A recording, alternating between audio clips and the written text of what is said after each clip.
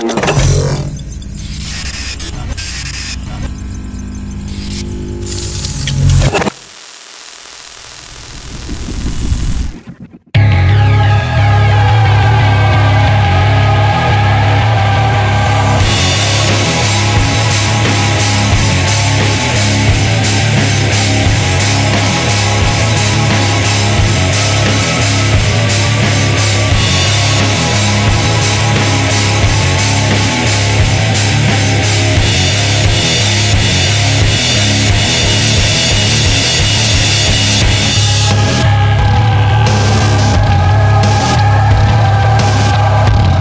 welcome to Tales from the Pit, the behind the lens access for the entertainment world and the creative people involved.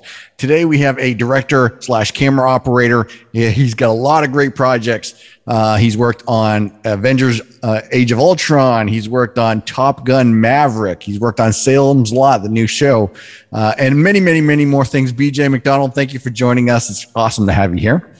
Yeah, thanks for having me. Awesome. Super cool.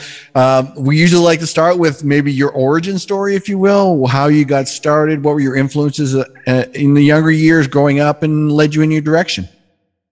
You know, it all, it all started with my grandfather because he was an actor. Uh, and, you know, as, as, a kid growing up, he would take me and my sister to uh, Old Tucson where he had his show High Chaparral. And um, it's crazy because, you know, it was just funny because he was just granddad, you know, he was our grandfather. We never, we, it, was just kind of like everybody's grandparents like worked at an office or a lawyer or whatever, you know, fisherman, whatever. But our grandfather was always on TV, so it was kind of crazy. So it was kind of neat growing up in that world and seeing that there was that kind of a career path that you could have because a lot of people don't understand that you could do uh, creative careers like acting or being a crew person or things like that.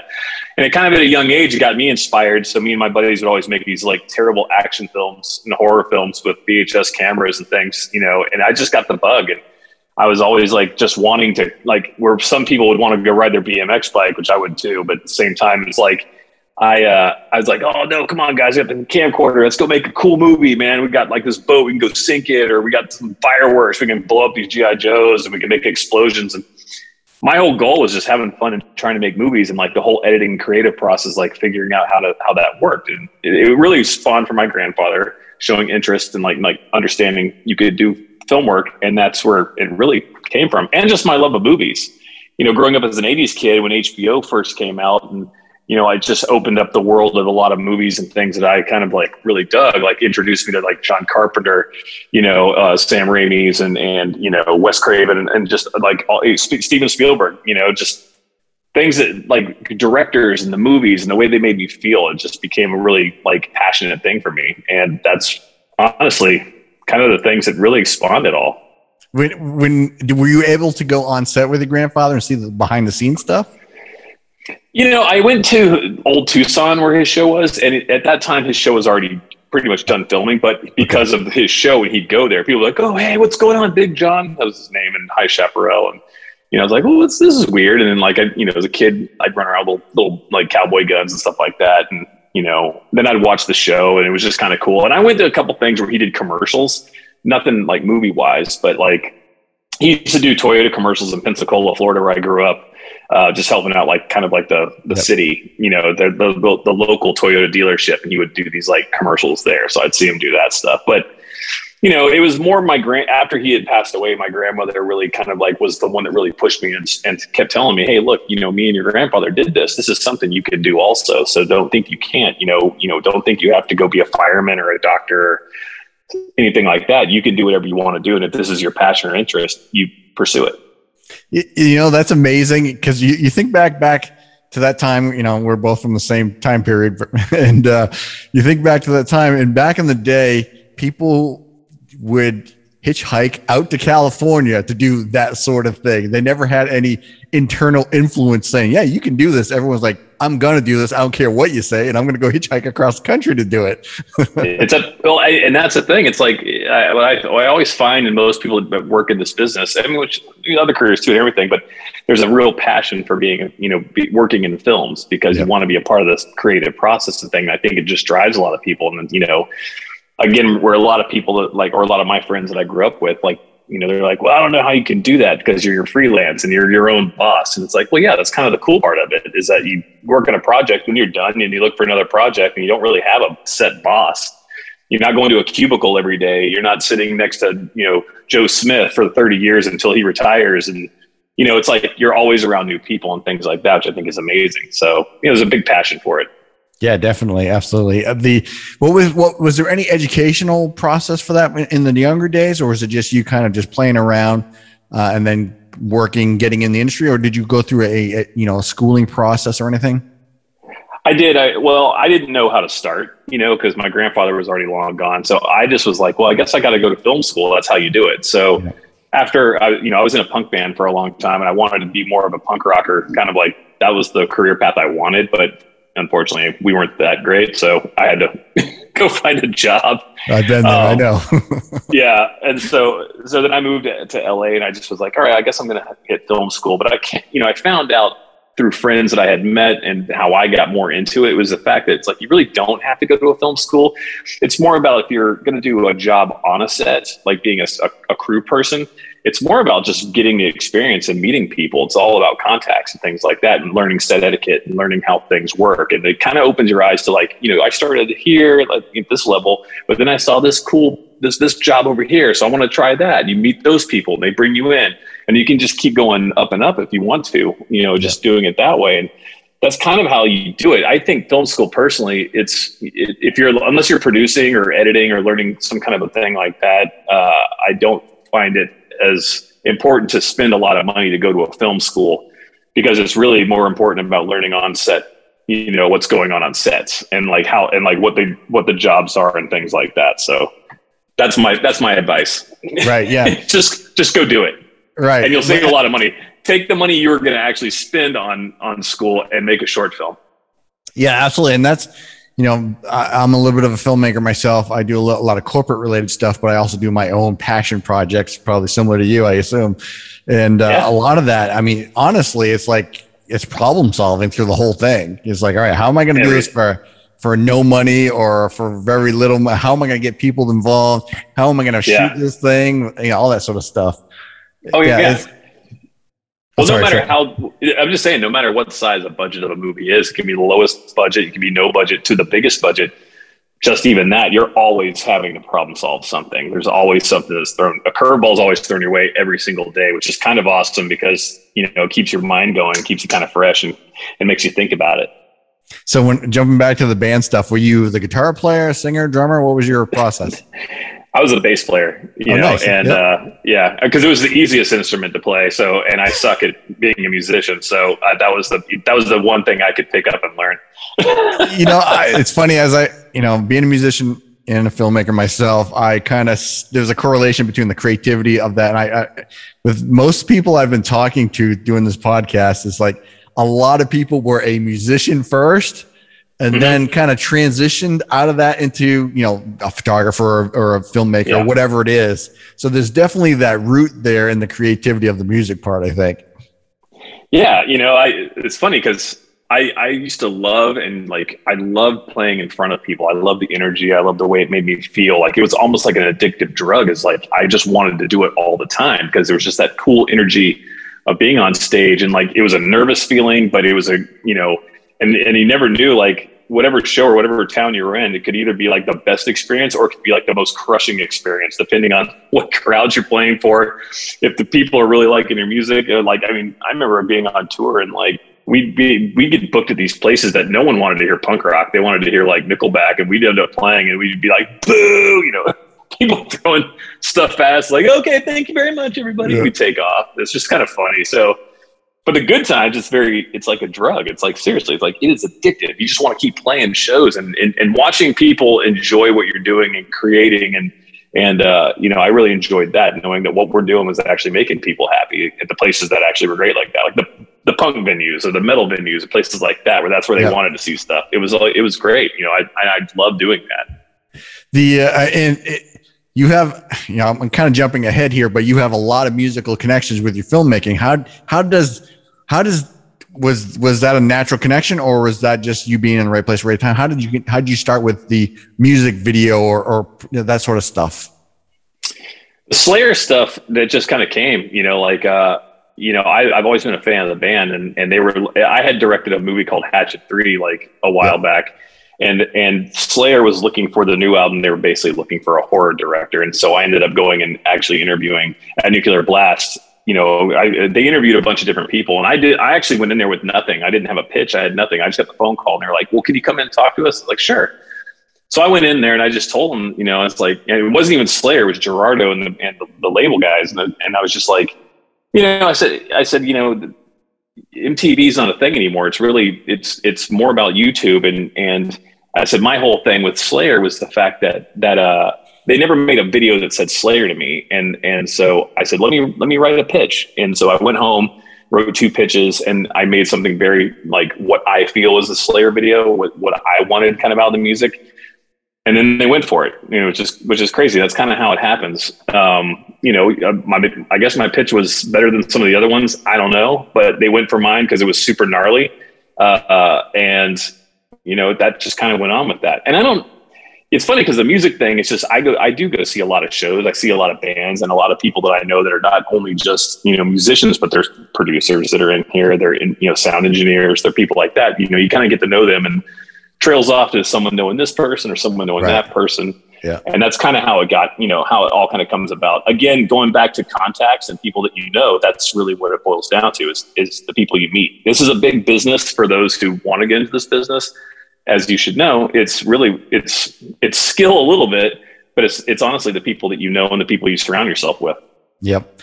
And, and how you, you know, how you relate yourselves to everyone and your work ethics and all that stuff too definitely goes a long way. It does. When, when it comes when it came to that Slayer video, was was there things off limits to you, or were you like, you know what, I'm just gonna throw as crazy, or or was like, no, that's not really what I want. That, I don't think they'll go for that. Did you have any sort of you know lines that you didn't want to cross or anything? I didn't really have. It's like I guess more of the lines that I didn't cross was more budgetary. Yeah, because sure. when you, I just would ask like, well, what's the budget for this thing? And so I, you know, and that's not really crossing lines. That's just kind of being cognizant of like what your parameters are of writing a pitch. Yep. Um, and I did write one huge budget kind of style one that was like super gnarly. It was very cannibalistic, graphic, kind of like bikers in the desert, kind of crazy stuff. And Kerry King loved that one, but there was just no way we were going to afford to do that. And then the and then I did the prison one that was more contained, and that's where it, that all kind of came off of you know, so I wasn't really, I just kind of just started writing, you know, and like that was it. It wasn't really anything where I felt like, you know, I had any kind of constraints or anything that, you know, that there's certain things that I won't do, that I won't do that I just don't like, you know, but, you know, I'm very much into horror and I'm very much into like, you know, graphic, like blood, guts, fights, guns, you know, that kind of stuff. I love that. I love action. I love horror. So that was kind of like what I really wanted to do. Yep. Yep. Let, us let's, let's go back a little bit because I kind of jumped ahead. But what was what was sure. the first big project you worked on? What uh, and what was your involvement in that project? Oh, well, that just depends on. Are you talking about whenever I was a grip, or are you talking about when I became a camera operator? Or let's, let's, start. Yeah. So you started off as a grip, uh, basically, right? Yeah. yeah so mm-hmm. how? So uh, explain what a grip is first, so anyone watching who may not know to me, I always say the grips are the Navy SEALs of the film uh, business because they're the guys that handle everything. They're the guys that problem solve. They're the guys that build things. They're the you know they're the they're the guys that push the dollies and work with the camera. Um, they're the guys that shape you know the lights and cut the lights. They're they're rigging. They're you know I mean let me tell you they're like they're like the most creative and awesome guys on set. You know, and that was. For, that's how I got in was just because, you know, a buddy of mine was a grip and he's like, come learn this skill. And it taught me not only film stuff, but also taught me stuff at home. Like I didn't know half the like things or how to build stuff or anything like that until I actually became a grip because that taught me a lot of great life lessons. Um, and so, oh God, what is the first thing? Like one of the first big things as a grip, I would say Terminator 3, maybe. Oh, really? Okay. Yeah. That's a huge one. That, that might have been like like the biggest movie that I was on. I started out when I was gripping, I was doing more television, and so I did a show okay. called Fast Lane that was like created by McG. You know, only last one oh, yeah. season, so we could, yeah. So it was like Tiffany Thiessen and Peter Facinelli. Um, it, it was it was ridiculous. it was we, about a bunch of cops that that that never took anybody in. they basically they usually just killed the guy. okay, you gotta do what you gotta do, right? They're bad guys, right? That's right. So you're doing gripping. I mean, that's probably a really good entry into the business if you don't have any technical trade, uh, any skill set of anything, because you're kind of involved with everything as a grip. Everything yeah. from helping set up the camera if possible to building your set to helping with lighting, everything. Yeah, I think it's a great entryway in, you know, and like, and it does, it, it it's a quick way to teach you a lot about like a lot of things. Like I right. said, like tying, tying knots, like learning all the different kind of knots you tie, you know, like, like, like setting, like doing rigging and properly doing it. So it's safe, you know, like you really, there's a lot of things that that, that world to me teaches you. And, I've told so many people, it's like, you know, if you want to get started, that's such a great spot because, and also like having Navy SEALs, you always need a bunch of different guys, you know, because like as a camera operator for me, it's like me and like usually like a, a, another operator. It's like two of us and we get picked and there's only two people. Whereas if you're a grip, they need a bunch of guys, you know, they need a, they need a, they need a crew. So you're always going to be getting work and you're going to be able to work. And I'm telling you, it's it's a great start, and you make good money once you get going and getting in the unions and things like that. I was yeah. very happy with it, but nice. You know, I needed. For me, I always felt like I needed to keep going and do more. So for that first project, that, that's probably a pretty huge project, Terminator Three. Uh, uh, was were you uh, you know you know were you like overwhelmed with that because that's you know you're working with Art Schwarzenegger when he was sort of at his peak and stuff like that. Um, and was that was that a overwhelming project for you, or was it you know I'm kind of used to this sort of thing by now? At that point in time, it was very exciting, not so much overwhelming. It was more of like you know, there's times where you would be kind of nervous about things, but you just right. kind of like. For me, I was like, well, just get in there and just own it. You know, like just you, are like, oh, I know how to do that. And I'm like, oh shit, what am I doing? Like, you know, you're trying to trying to watch the other guys and kind of learn off what they're doing yep. sometimes like the, the more seasoned grips and things like that so I mean, there, there's a, there's a bit of there's a level of intimidation. I mean, here's the thing. I think there's always a level of intimidation or things that like when you're going to any kind of movie set. And even to this day, there's things where I get on there and I go, "Oh man, what are we doing? Oh, I've never done that before." You know, because there's yeah. things that pop up. It never really becomes a thing where I feel like I'm just like you know, I'm like autopiloting through, you know, right. and, and I like the challenge. And so it's, you know, it, it was intimidating. It's intimidating, but you just got to go in and own it and just, you know, yep. get through it. The, the transition from grip to camera. So now that you jump to camera, you have to have specific knowledge of stuff. Did you, were you learning that through grip or did you have to physically go take some courses or anything like that? So as I was a grip, I started doing dolly grip, okay. dolly grip work. So now I'm working hand in hand with the operator. So gotcha. I'm pushing the dolly, I'm booming the camera up and down, I'm doing the moves of them, hitting my marks, um, and learning framing just by like using a monitor and watching him. So I got really excited about that, and I was like, "Well, this is kind of cool." Because as a grip, after a couple, you know, after a little while, I felt like everything that I was working on, if I'd go see a movie, I never saw something that I had my finger on the pulse or a touch to it. I just know I worked on it. Um, whereas a camera operator, it's I'm the one that's shooting the whole movie. You know, me and the other operator and, and right. the camera crew. You know, but I'm physically moving the camera. I'm doing the moves and that stuff. So that became. And after doing the dolly grip stuff, I really started enjoying seeing what I was doing as a dolly grip on on movies or TV shows of just the movement we were doing. So I got kind of like, all right, I can do that. So I ended up doing a Steadicam course, um, and because I was really interested in that also of, of, being a Steadicam operator. And so I took a course um, and I fell in love with it. And then I basically borrowed money from my grandmother, you know, and was like trying to, you know, she, she gave me a loan I had to pay back. And I went and worked as hard as I could as a mm-hmm. grip to buy piece by piece by piece a bunch of, you know, really expensive gear for, for that. Yep. Finally, after about two years of doing grip work and putting this thing together and paying my grandmother back, I had I had a full rig. So then I started working on student films where I knew I could mess up, or like you know. And I know it sounds terrible for any students that are watching this. They're like, "Well, I'm not going to hire a guy." Now you're saying that you know, but I mean, you got to get your chops somewhere. So yeah.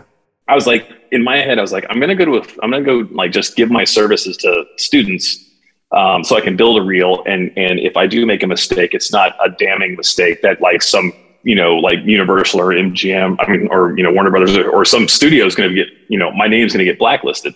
Right. So that's that's kind of the how I how I did it. I, I went through and I would make my mistakes and I would you know. but I also built you know great relations with people from like AFI and UCLA and USC and, and schools later on down the line that I would end up working with. You know when everybody's career started taking off. So that's kind of how I got into being a camera operator by doing it that way. And then as a grip, I had met DPs and I would just say, "Hey guys, you know, I'm, I've been doing Steadicam for a while now, and I know if your regular guy isn't there and he can't do it, you know, I would love to, you know, give me a shot, give me a chance." And some people did, yep. and that's really the transition of how I became from a grip to a camera operator, Steadicam operator. You yep. know, and it was great knowing the DPs as a grip, learning my skills as a Steadicam operator and a camera operator because you have to know both and then going back to those DPs and just being like, "Give me a chance, guys," and you know, I got lucky. Yeah, that's. I mean, well, I mean, it's a lot of it is you just you know doing your work and being ready, and the you know when the opportunity strikes, you're either ready or you're not, and you're you know you jump into it. The yeah. The difference between camera and Steadicam, just for people watching, Steadicam is a generally could be a, a, a, a mounted uh, camera to you that you're walking around balancing and holding it in for those movement shots. You're maybe running alongside somebody or something like that. Um, the shining. Watch the shining. Right right. Yeah i uh, I, I, do a lot i have the the ronin s and mm-hmm. uh, i do a lot of steadicam work with that. Um, i'm actually looking at the new uh, ronin 4 4D. Oh yeah, that, that looks pretty sweet. yeah.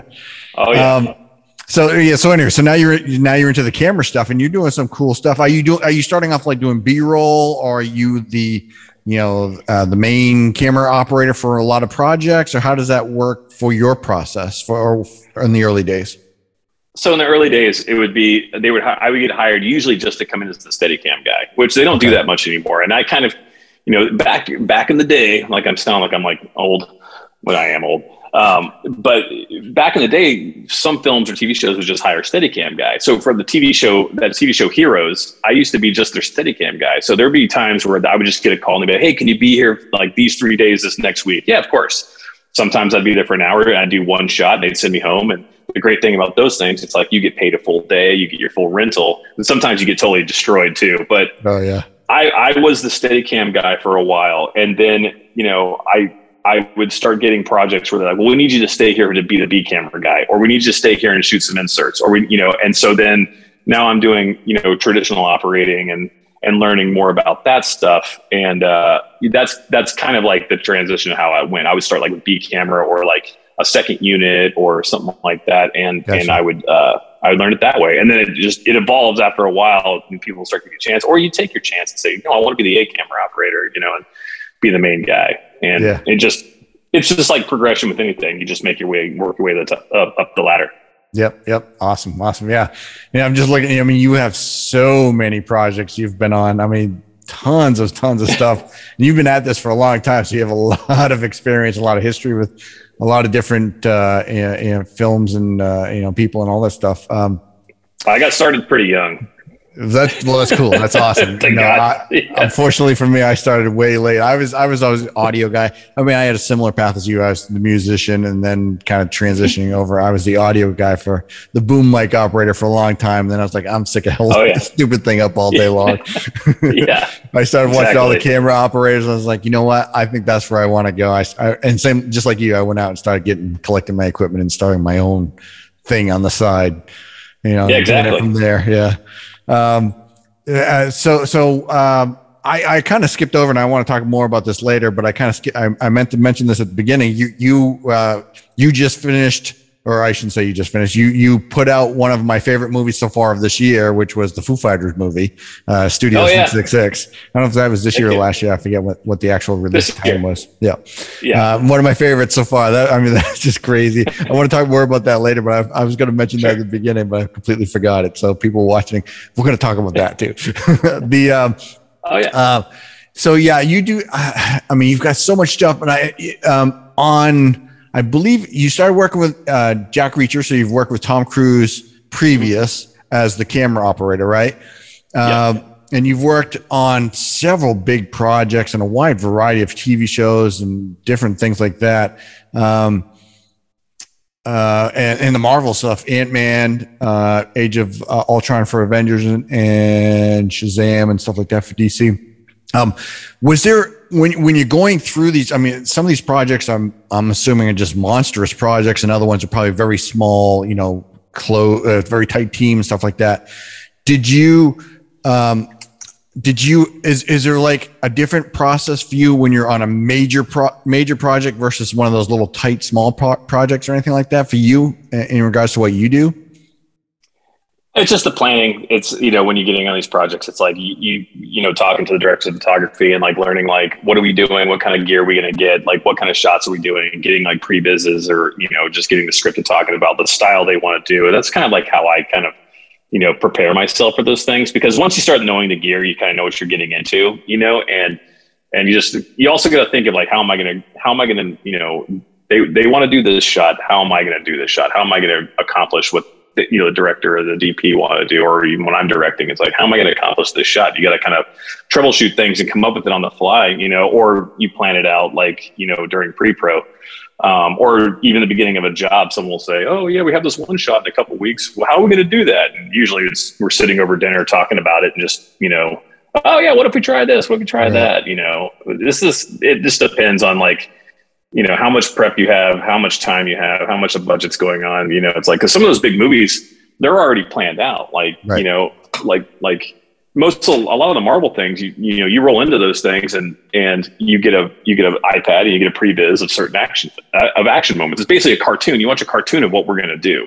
Yeah. Which actually you go, okay, I see this one shot. How are we going to do that? And then you have to figure out how to do that. So it's kind of fun when you have those, but it's also like it's also fun when you don't have a previs and you go and you just kind of think about it and then you just make up the concepts and you go about doing it. I mean, there's all sorts of different ways to do it. It just depends on time how much time they've prepped, how much time you've prepped, yeah. you know, that kind of stuff. Yeah, I you know, and I, I wonder on some of those. I mean, obviously, for some of those huger projects, everything's well planned in advance, like as you said, and stuff like that. When it comes to the visual camera angles and stuff like that, are you basically just mimicking what's there, or are you are you kind of getting a little creative with your angles, or is that project to project? it's project to project. And it's also like, I mean, sometimes you'll see a shot and you're like, okay, well, that's cool that I see this on here, but look at the space we're in. It's like, right. How, you know, so basically if I was to try to mimic this shot, I'd have to like remove this wall to get the camera in this one spot. You know, then you have to kind of come up with ideas and ways to move people around to get things to fix. Yeah. You know, it's all, again, going back to the problem solving of it all, like you have to, it's all problem solving at that point in time, like in trying to like work it out you know, you know, with the constraints that you have, or like what this, what the whole set pieces are. You know, how soon, how how uh, how early are you involved with the project? Or is is it generally the projects are already defined and now they're just bringing in the crew and, and camera and all that stuff, or are you like at the early stages with the writing process or or even the uh, pre-process stuff? Or is it different from project to project? It's usually it's it's kind of the same. It's usually like when I'm camera operating, it's just, hey, we got this movie coming up and we're gonna be shooting in a couple weeks. You want to do it? Sure. Okay, great.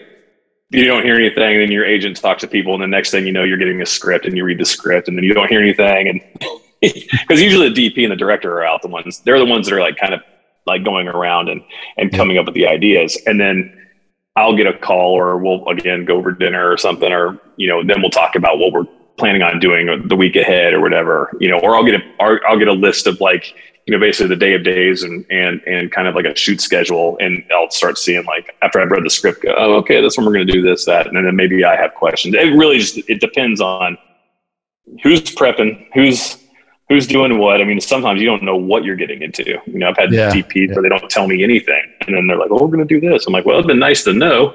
We could have had the right stuff. But then you have DPs that are so on top of it that they say, "Oh, well, today we got this piece of gear because we're going to do this and that." And you're like, "Thank God! All right, great. It's easy now. You, you got the right stuff."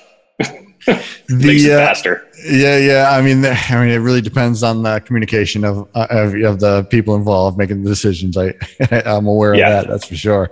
The oh, um, yeah, uh, uh, and so uh, I assume you're, you know, for for a lot of those projects, you're just hired to come shoot it. You come shoot it for whatever that time period is, and then you probably don't see anything or hear anything for you know a year or so or something like that. Uh, yeah, you walk away and then you're then you're excited when you see a trailer pop up, or right. you know, or other times you get the call for like additional photography or whatever is going to happen because if you got a project that's a good budget or whatever, usually that you shoot the movie, they watch it, and then they go, all right, well this worked and this didn't work, and now we're right. going to do reshoots, and so next thing you know, you're getting the call to go do more stuff. and, and, and you you had just mentioned that you're heading back out to do some reshoots for Salem's Lot, right? The show, the TV show. Yeah, additional photography. Yeah, oh, is that what it is? Yep. Yeah, yeah. So we're yep. just, yeah we're just tightening it up, tightening it up. I'm sure, but it's like that movie's going to be rad. I, I'm excited about this one. That uh, yeah, that's that looks really cool. I, am super psyched about that as well. Um, uh, obviously, I well, obviously, I'm in Portland, Maine, which is you know Stephen King's from Maine, all that stuff. Oh, yeah. So, so always, I, I worked on a project called uh, "You Can't Kill Stephen King." It was a, it's a low or independent film that we shot back in 2015, maybe even earlier. I forget what it was. Uh, yeah, that was that was kind of a crazy time, but it was a lot of fun. That's awesome. That. Yeah, yeah, it's it's a lot of fun. The um, uh, uh, so so so you you've uh, doing a lot of camera work. You're doing a lot of uh, uh, involvement stuff. Uh, I, I assume that you're you're at a level where you don't sweat it so much anymore because you've been doing this for so long. But you probably don't hear about projects until it's pretty close to doing them. So you could possibly go for a period of time without hearing stuff or about you know when's the, you know COVID happens. When's my next project? Is that something that probably isn't as much of a thing anymore, but was that ever a concern in the past or anything like that? You mean just time in between jobs and like, yeah, you, sure.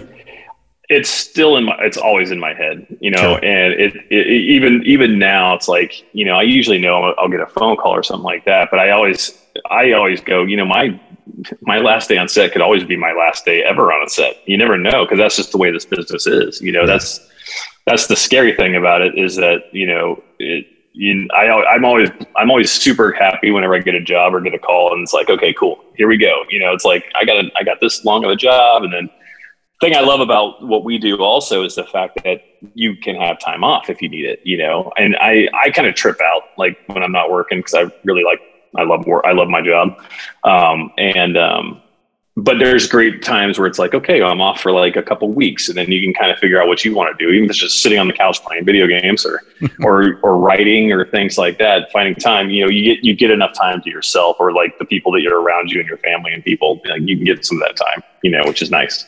Yeah, the yeah, absolutely. I mean, if you if you have that luxury to take some time off, go for it. Absolutely, help your refresh and recuperate and work on some skills or whatever it is you want to do. Definitely. The 100%. Uh, yeah, the the um the hatchet. Now, it, um, was that something that you were part of the writing process for? For uh, not for the first or second one, um, because I was the camera operator on the first and second one. Okay. Third one, I had input into what I was trying to do. Yep. Um, but with that one, I kind of had to follow suit with like what the other ones were. I wanted more the one that I was directing. I wanted to make it more serious, but okay. at the same time, it was more of a thing where uh, I know that they wanted to keep it the 80s silly, you know, kind of like that kind of vibe. So I had to kind of follow the rules with that. Um, but there's like like the kills that are in that movie I was a part of. Like I, you know, we brainstormed that stuff about how things were going to go. Um, there was a whole storyline that I wanted to do with the movie, but it got shut down because it was it was really dark and gnarly. Um, it was basically like it was basically like the cop scene in Terminator. Like it was going to be so cool. I wanted that so bad, but oh geez. you know when when you're in there just directing, you're not writing it. You know, usually it's like people. You know, some people will get more of the the say so. Right, right, right. Yeah, yeah I, understand. Uh, when it comes to directing, now I, I mean, we'll definitely get into the Foo Fighter stuff. But what was your directing? So you've done a lot of projects and stuff like that. Did you have a lot of directing um, or have you done a lot of directing prior to when you were doing that in the in the Foo Fighters and whatever else?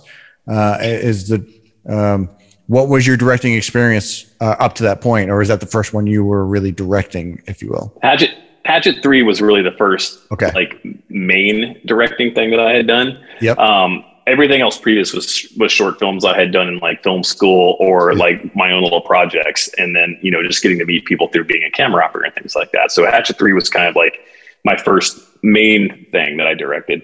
And then it went on to doing the music videos. I did a couple commercials in between okay. that. Um, and then, you know, the Foo Fighter thing came up after a while. And I think a lot of that had to do with the the music videos, you yep. know, because Dave's a Slayer fan. The producers that I know are big Slayer fans, and we're also friends. And I was a big fan of one of the producers' bands, uh, so it it just all kind of worked out that way.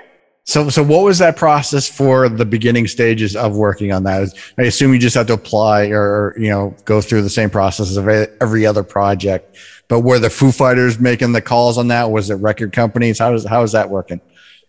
So that's the thing. It's like there's a there's a whole machine that that works when you're doing a movie like that. Like you, you, do independent films and you do you know music videos. You kind of have your you have a lot of like play that you can do your own things. But when it comes down to like something like this, there's you know you have management, you have you know the the band themselves. You got to make sure they're happy with what's going on, and then you know when and then once you've done the movie, you get, now you have a studio involved, and you got to do these all these different kind of things.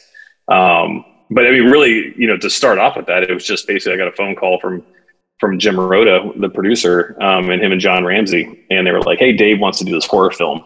And you know he knows you did the slayer videos and things like that and he you know we, we want you to come down and talk to dave so they kind of sent me an idea of what dave wanted to do because he, he came up with the story and then i kind of went off and did my own like i just sat down wrote a whole pitch thing of what i would add to what he was trying to do and then I made kind of a lookbook presentation, and we just, it's just like any other kind of pitch meeting. I, we sat down, we talked about his, what he wanted. And then I said, well, all right. And I passed out all these different like booklets that I had made and said, you know, all right, check this out. I, I think this is cool you're doing here, but I would add this and I would put these things into this and I would want to do this or that. We talked about directors that we loved and we vibed on that.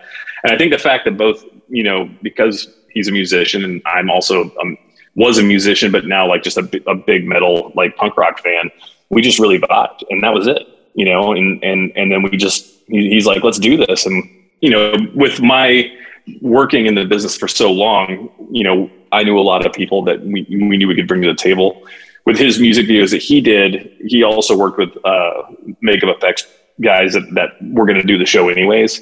And they vouched for me. And it was just kind of like, it was, it was like that kind of a world. So it's yeah. just like, it was kind of just a cool meet and greet, like at first, and then just kind of showing off like, hey, you know, you like this director? I love that director. You know, come down to like John Carpenter. Like that was, we, we yeah. really vibed on that because that's kind of who I grew up on. Yeah, I, I all the cameos you have in there. I mean, everything is just so awesome on all the different cameos. And uh, were you involved with you know all of the uh, not the cameos? Were you involved with the like writing of you know you know, uh, the deaths and stuff like that, and and all that stuff was was was this. I don't know if you said was the script completely done, or were you involved with writing on a lot of that? The script was not all done, but the kills were already pre-planned because okay. basically Tony Gardner, who we were bringing in, who also runs Alterian, he we basically said, "Hey, Tony, you know, because he always he'll get a script and it'll already have everything pre-planned. He then he has to figure out how to do it. But this was like, hey, Tony, what what would you want to do in a movie?" Um, like kill wise that you haven't seen yet that you've always wanted to do. And so he basically wrote down a bunch of different kills that he would like to do. And then we just kind of picked those out and said, all right, this is how so and so is going to die. This is how this person's going to die. This is how we're going to like do these things. And it kind of was more fun for him because now he gets to create things that he always wanted to do. And that's kind of how we, how we, it's kind of how we did the kills. That's how we put them all together. The story though is through the writers and through Dave and, yeah. and, and they, they did that. I only, like there's these shadow people that are in the movie that yep. were never in the script. I, I, wrote them and put them in there because I oh, wanted cool. more of a back. I, I just wanted to tell more of a story of this caretaker, this Greg Knoll character. And they talked about him having a band, but in the original script, we never had like any kind of haunting of a band. It was just like the caretaker. You didn't see much of him. I always wanted to add that. And I wanted to do a throwback sort of to the fog. So that's kind of why I modeled the shadow people in Studio 666 to kind of look like the pirates in the fog with the with the red eyes and, and stuff like that. A lot of that is a lot of throwback stuff. Um, I thought, so I wrote I that, that. in. Yeah. Go ahead. Sorry. Yeah. And then, and then like we had to do a couple different things because of COVID. You know, we started shooting the movie before COVID and then we got shut down when everything shut down and we didn't, we weren't finished making the movie and the whole world shut down. We all went home. And so we had to come back six months later when they were like, all right, we can start working again. And so the, pro, the, the, the rules were different. So the ending of, of Studio 666, I had to kind of rewrite because we had to keep kind of people separated from each other. we have like social distance people, and so the end of the pool is kind of like everybody's kind of spread out in different spots, and that's wise because we had to follow these rules and. You know, there was like a whole free, there's like a whole like dog pile brawl that happened originally in the script, and you know, I had to take that out and just make it more, which uh, I think it's better now. I I'm, I'm happier with our ending. Um, I, I think it turned out way cooler and it had a bit more meaning to it. So yeah, I think I that's agree. What happens. I agree. Yeah, yeah. totally. I, I, mean, I would have, uh, uh, and, until you told me that, I would have never have guessed that COVID was a factor on how that ending was because I think it's great the way it ends. I like the way everything ties in. I do think that you're involved, the, the shadow people, I think is actually a really cool idea because it, it adds a whole nother, I mean, because you got the, you know, the, the, the standard, you know, possession stuff going on, but then you get this sort of, you know, uh, other element going on. I think really adds another level. I thought that was great. I think that was really cool. Yeah. And that's and that's what I thought too. When we were doing is that I was like, well, we need to add some little more depth into like what's going on here, and I thought that that was a neat way to do it.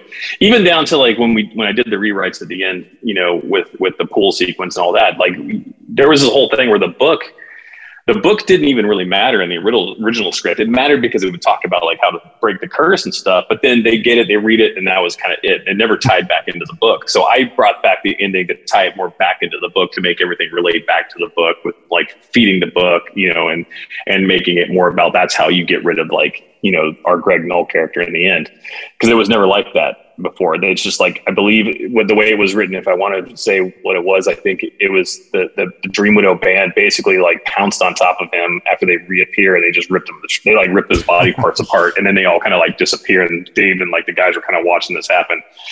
You know, and it was like super graphic, like arms, heads ripping off, everything, and they're almost like just animalistic, and then they just kind of disappear. But I like what we did now. It's more of like it's more of like a spiritual, like creepy yeah. ending, which I thought yeah, was yeah. cool for a com for a for a for a, a, a rock and roll comedy. Hey, thanks for watching part one of our interview with BJ McDonnell. We hope you enjoyed it. You can check out our other episodes, our other guests on all your favorite podcast locations, and on YouTube, search for Tales from the Pit podcast. Remember to like and subscribe. And you can also check out our website at talesfromthepit.net. We'll see you next time.